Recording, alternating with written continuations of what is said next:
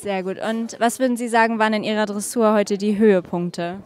Ähm, ich glaube, die Piaffen waren sehr gut. Äh, ich glaube, mit einer Passage am Anfang war ich nicht 100% zufrieden, aber ansonsten ist das, glaube ich, auch ein echter Höhepunkt des Pferdes. Und ich hatte in der ganzen Galopptour echt ein ganz, ganz gutes Gefühl. Schritt geht da immer gut eigentlich. Ich bin eigentlich rundum zufrieden.